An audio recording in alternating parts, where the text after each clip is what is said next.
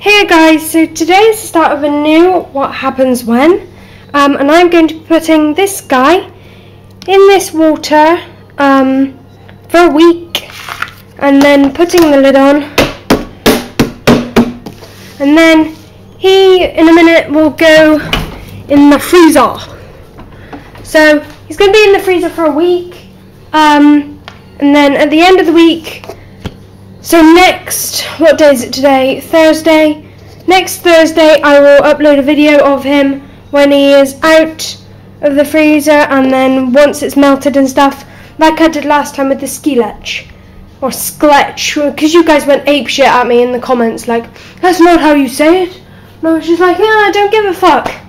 So yeah, he's gonna go in the freezer in a minute, and I will see what happens to him um, next week. So thanks for watching, guys. Bye.